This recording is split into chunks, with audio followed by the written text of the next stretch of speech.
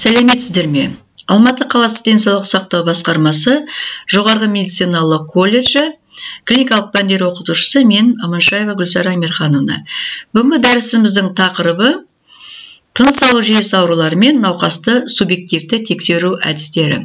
Науқастың шағымдары ауру анамнезі және өмір анамнезі қарау. Жалпы қарау мүшелеп қарау. Алдыменен тыныс алу жүйесінің жалпы сипаттамасына тоқтала кетеміз. Тыныс алу жүйесінің мүшелері мұрын ә, көме кеңірдек өкпе. Ауа алдыменен мұрын арқылы мұрын қуысына түседі. Бұл жерде ылғалданады ә, дене температурасына дейін жылытылады шаң тозаңнан микроорганизмдерден тазартылады. Көме арқылы ә, кеңірдекке өтеді кеңірдек ә, бесінші кеуде омыртқасының тұсында екі, екі бронхқа бөлінеді. Оң жақ сол жақ өкпеге еніп ә, тарамдалып бронх ағашын түзеді. Оның жіңішкерген ә, жіңішкерген шетінде бронхиолалар өкпе көпіршіктері альвеоларменен аяқталады. Өкпе оң жақ сол жақ өкпе оң жағында үш бөліктен тұрады сол жағында екі бөліктен. Өкпенің қан айналу өкпеде қан айналу жүйесіне көңіл бөлуіміз керек. Э, веналық қан мінекей кіші, э, кіші қан айналу шеңбері арқылы өкпе артерияларымен өкпеге түседі. Көмірқышқыл газынан ажыратылып оттегімен қанып артериялық қанға айналады. Ә, көмірқышқыл газы альвеолалармен сыртқа шығарылады да артериялық қан үлкен қан айналым шеңбері арқылы бүткіл ағзаға тарайды. Енді тыныс алу жүйесін субъективті тексеру әдістері ә, сұрастыру арқылы жүргізіледі. Алдымен шағымдарын науқастың ә, сұрап білеміз. Негізгі шағымдары қосымша шағымдары болады. Негізгі шағымдарына жөтел. Жөтел рефлекторлы сақтану акті. Көмей кеңірдек бұрынға шырыш немесе бөгде заттар түскен кезде пайда болады. Оның әртүрлі түрлері түрлері бар. Тембіріне қарай жөтел қысқа және жай жөтел болып келеді. Ә, мысалға шаншудан сақтанып науқас қысқа қысқа жай жөтелуі мүмкін. Қатты үрлеп жөтелу жоғарғы тыныс жолдары қабынған кезде жөтел дөрекі естіледі үріп үрген тәрізді болып естіледі. Қарлыққан жөтел ә, дауыс желбезектері қабынған кезде дыбыссыз жөтел дауыс желбезектері жарақаттанған жарасында ә, ісінген кезде болуы мүмкін. Мезгіліне қарай жөтел ертеңгі жөтел бронхтың таңертеңгі дәреті деп аталады. Кешкі жөтел кешке қарай жөтелдің күшеюі түнгі жөтел түнде жөтелдің күшеюі мысалға туберкулезде. Түріне қарай жөтел. Құрғақ жөтел қақырықсыз және ылғалды жөтел болып бөлінеді. Қақырық тастауға шағымдануы мүмкін науқас. Қақырық тыныс жолдары арқылы сыртқа шығатын патологиялық сұйық зат. Бұл жөтелген кезде шығатын қақырық. Қақырыққа қан араласуы мүмкін. Қанды қақыру дейді. Өкпеден қан кетуі мүмкін. Өкпедегі қан тамырлары зақымдалған кезде. Ол жаңағы алқызыл түсті болады және көпіршікті болып келеді. Ентігу ентігу деп ауа жетпей кеуденің қысылғанын айтады. Физиологиялық ентігу қатты жүгірген кезде мысалға күш түскен кезде баспалдақпен жоғары көтерілген кезде тез тез ентігуі мүмкін. Бұл физиологиялық ентігу. Патологиялық ентігу бұл ауруларда патологиялық жағдайларда кездеседі. Инспираторлы ентігу дем алудың қиналуы қиындауы экспираторлы ентігу дем шығарудың қиындауы. Аралас ентігу шығарудың да дем алудың да қиындауы. Өкпе ауруларында көбіне аралас және инспираторлы ентігу кездеседі.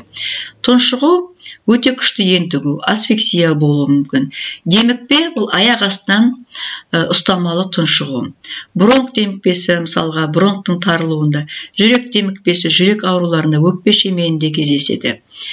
Аяқ астынан болатын тұншығу дене қызуының көтерілуі өкпенің қабыну процестерін, ә, процестерін білдіреді. Тұрақты қызба болуы мүмкін тұрақты түрде. Титықтанған қызба. Ә, мысалға өкпеде ірің болатын болса ол ірің шыққанша температура түспей титықтатып жаңағы қызба болуы мүмкін. Субфибрилді созылмалы бронхит ауруларында туберкулезде өкпе рагінде кездесуі мүмкін.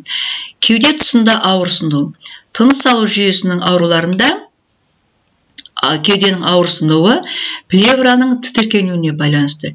Жөтелгенде терең демалғанда күшейеді.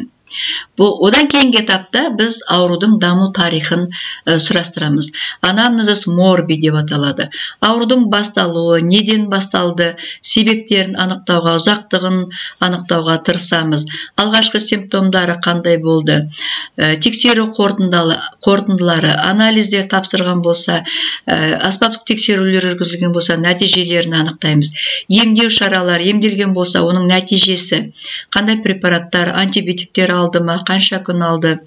Ауруханаға жеткізу себептерін де анықтаймыз. Жедел түрде келді ма асқыну болды ма өзі келді ма? Және осы тексеру курация кезінде жүргізілгенде денсаулығы қалай өзгерді? Жақсарды ма жоқ асқынды ма? Соны анықтаймыз. Келесі этапта науқастың өмірбаяны анамнезис вите бұл кезде даму ә, науқастың ә, бала кезден бастап дамуына ә, көңіл бөлеміз. Туа біткен жүре пайда болған ә, ауытқулары болды ма жоқ па? Мамандығының ерекшеліктері зиянды жақтары суық тиюге жаңағы әсер етті ма жоқ па? Зиянды әдеттері шылым шегуі қанша жылдан бері шылым шегеді ішкілікке салынуы тұрмыстық жағдайы баспанасы бар ма жоқ па? Эпидемиологиялық анамнезді анықтаймыз. Қандай жұқпалы аурулармен вирусты гепатит туберкулезбен ауырды ма жоқ па? Анықтаймыз. Аллергологиялық анамнезін анықтаймыз. Қандай препараттарға әсіресе антибиотиктерге аллергиясы бар ма жоқ па? Гинекологиялық анамнез әйелдерде жүктілік кезінде ауытқулар болды ма? Асқынулар болды ма? Анықтаймыз. Тұқым қуалаушылық аурулары бар ма жоқ па? Одан кейін қарау. Жалпы қарау. Науқастың жағдайы көп көпшілік жағдайда ә, қанағаттанарлық болады орташа ауырлық та болады. Ауыр болуы мүмкін өте ауыр болуы мүмкін санасы айқын бұлыңғыр болуы мүмкін анықтаймыз. Қалпы төсектегі қалпы. Белсенді белсенді емес мәжбүрлі қалыпта болуы мүмкін. Дене пішіміне көңіл бөлеміз. Қалыпты жағдайда астениялық нормастениялық гипер, гиперстениялық болуы мүмкін. Конституциясына байланысты. Мәжбүрлі қалыпта болуы мүмкін. Үнемі бір қырында жатуы мүмкін мысалға. Немесе кереуеттің шетінен ұстап отыруы мүмкін тыныс алу қиналған кезде. Одан кейін кеуде сарайын қараймыз.